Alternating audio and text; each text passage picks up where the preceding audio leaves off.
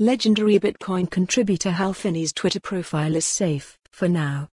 Bitcoin fans can rest easy as Twitter has backpedaled on its plans to purge inactive accounts until it can figure out how to memorialize them.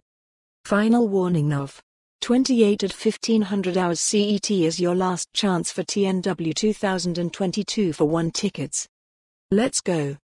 We've heard you on the impact that this would have on the accounts of the deceased. This was a miss on our part.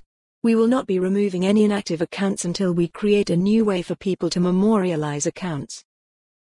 Twitter support, at Twitter support, November 27, 2019.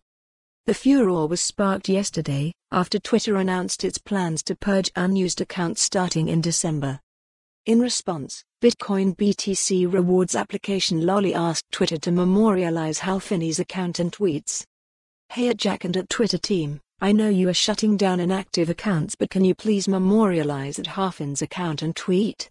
Folded hands, https colon slash slash t.go slash idlgshwanepic.twitter.com slash tmpk9yahoo.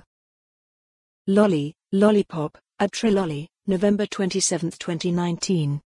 Finney, who sadly passed away in August 2014, was a well-known computer scientist and an early Bitcoin adopter.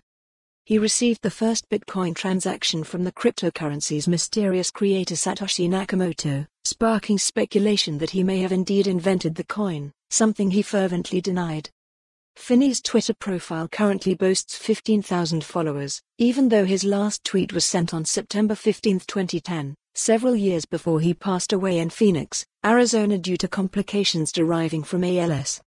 A former developer for the PGP Corporation and a cypherpunk, Finney joined Twitter in October 2007.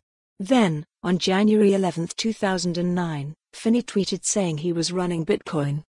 To date, the tweet has been retweeted over 6,000 times and liked by more than 15,000 users. Finney will forever be part of Bitcoin's history and I for one am not surprised by the community's desire to preserve his memory. For more on this story, visit the news article link.